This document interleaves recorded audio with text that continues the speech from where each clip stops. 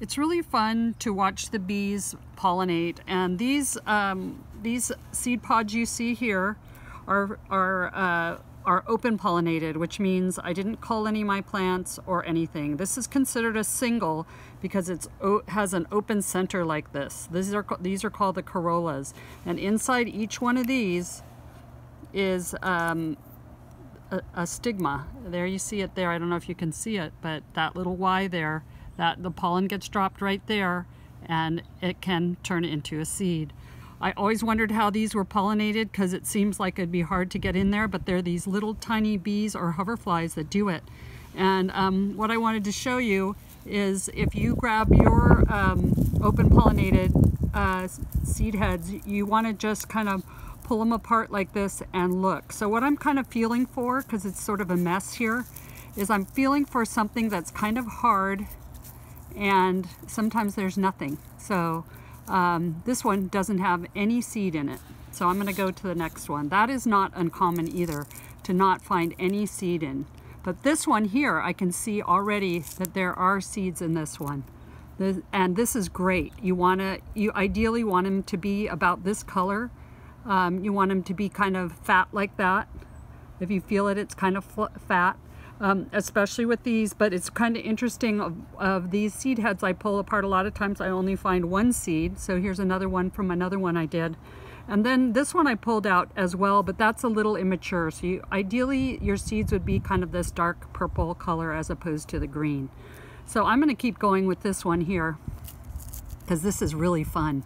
These, this is a lot of seed for an anemone. Um, this anemone is called Sandia brocade and it's hybridized by Sandy Boley in the Pacific Northwest. It's a really pretty anemone. It's like my favorite, I think. And this is a lot of seed in here, so I'm pretty excited. Um, I know it's open pollination, but this is a single, so I expect it to be um, probably single as well, especially with open pollination, because I do have a couple of other singles in my patch. So um, anyway, this is this is tons of seed because a lot of these, uh, like I said, I was just getting one seed out of. Um, we could do one more and see. Um, but the, that that is probably all the seed. Oh, one more here. So that was a lot of that's a lot of seed. A lot of times the seeds are on the outer part of um, the the disc floret for me.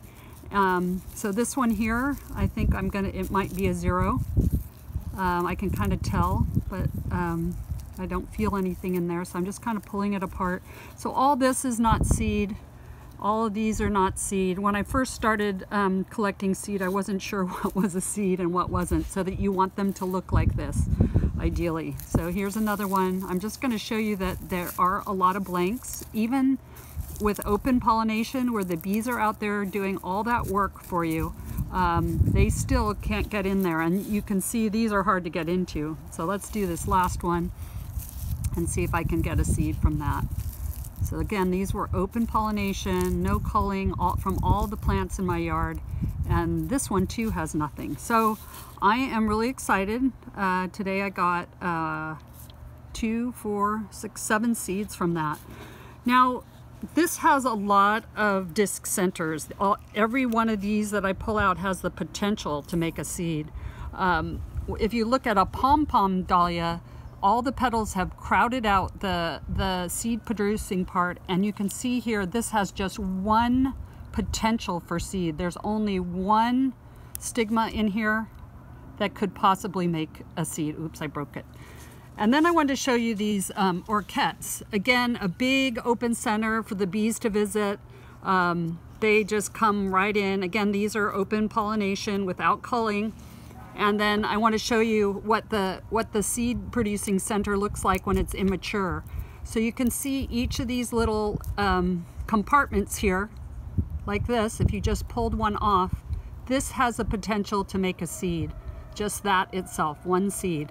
And so if you counted these, there would probably be 60 potential for seeds. So I want to show you the difference between um, a flower that bees can easily um, visit versus ones like the, the anemone I showed you, which is hard. This one probably will have tons of seed and you can see I'm just pulling it apart here And look at all these seed that are just coming out. One, two, three, four, five, six, seven, eight, nine, ten. And that's just in like one little section. So all these seeds are just from one little section. These are good looking seed, good color. They have some um, little bellies on them, I call it. But if you, you can see if I pull this seed head apart, so again, this is from an orchette, you can get tons and tons of seed. Now your chances of getting a fully double dahlia from one of these seeds is not very good. You're going to be getting mostly singles or thing or or um, or orchids from it. So that's it for today.